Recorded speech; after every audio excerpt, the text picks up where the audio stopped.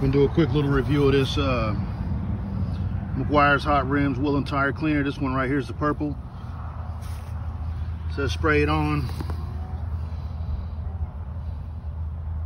Let it set for about 30 seconds and wash it off. That's the one I'm about to do right now.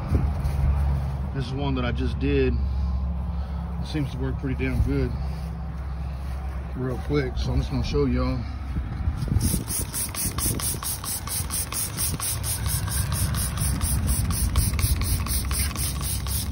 I got a little brush. I'm gonna brush it down.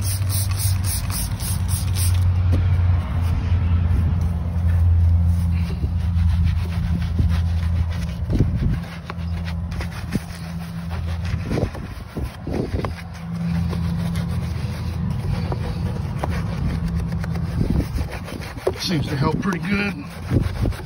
I did it once without brushing, it didn't do much.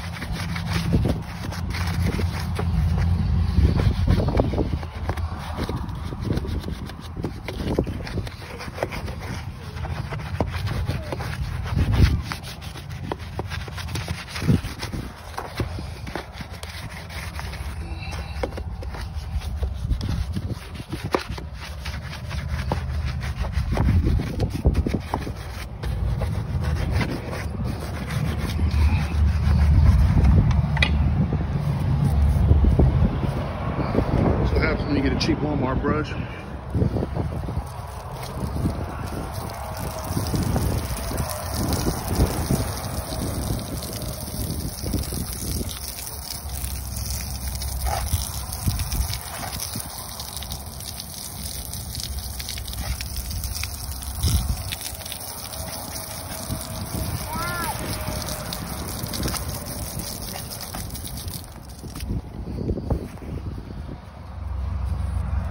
That's it right there. It's pretty damn clean. Yeah, check that out. Meguiar's Hot Wheels.